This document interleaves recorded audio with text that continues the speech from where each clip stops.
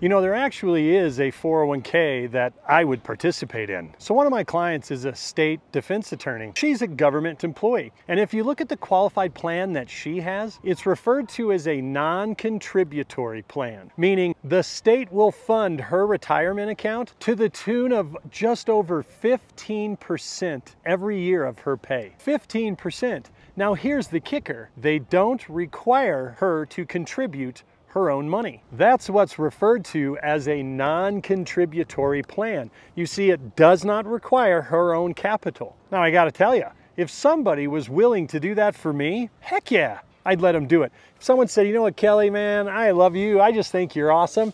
And I want to put 15% of your annual pay into an account that you don't own and control. The government can tax it later at any rate they want. You don't know what the terms are going to be but we're gonna set that aside because we think you're awesome. I mean, seriously, I don't care if I'd only get 10% of it later.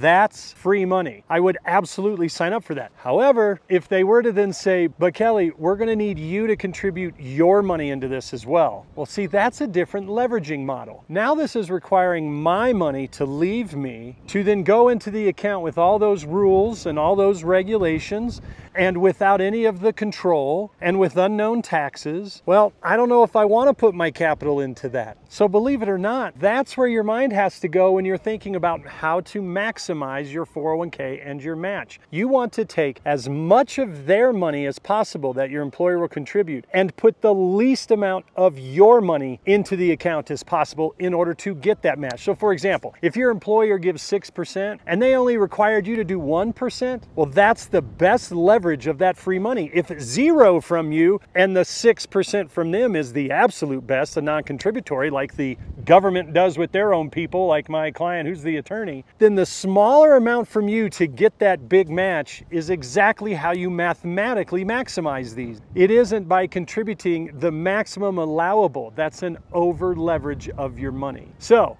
I'm all for the non-contributory. If I don't have that, I'm all for the smallest amount possible to get the biggest contribution from the employer. After that, man, you're just playing with, well, the likes of the mafia they get to control your capital.